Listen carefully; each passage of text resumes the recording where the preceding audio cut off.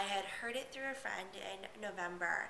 She, uh, her sister works at Glamour, and she said, you know, they're doing this um, hair contest for herbal essences, and you just have to submit a video of yourself, like three minutes, and you know, and if you get it, they fly you out to LA and you do a show.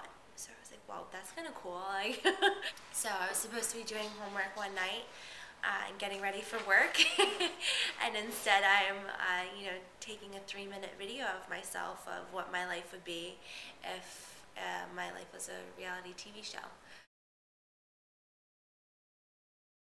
So I was actually just getting out of class from URI and I was stuck in traffic on Upper College Road. you got a call on yourself. I got a call and I was so, I was so happy I was stopped.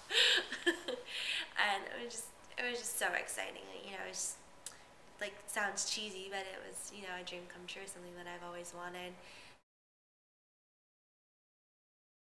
It was my first time actually out on the West Coast.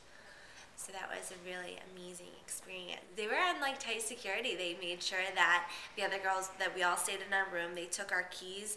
So even if we did try to sneak out, um, we couldn't get back into our room and we'd have to go find somebody to let us back in.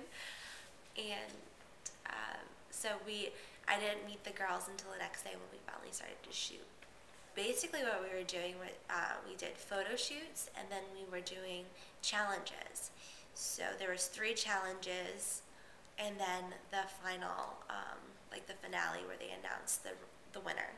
We each had our own individual shoot, um, and then we did two different group shots. One where we were in our colors. Um, re representing the Hydralicious collection.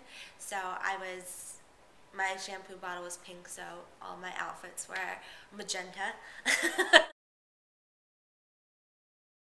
We drove up to Malibu Beach, which was, I think what they had in mind was it was like, it was around sunset and they were going to have this like, you know, background of the beach and it's sunny and it's great and it actually rained that day. Yeah, I can tell.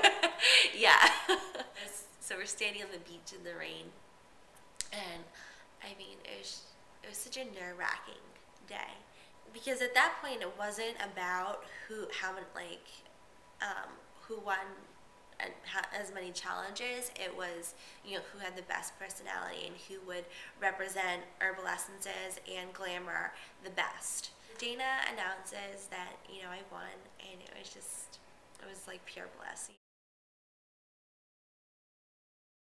I won a $10,000 shopping spree at this boutique in LA called Milk.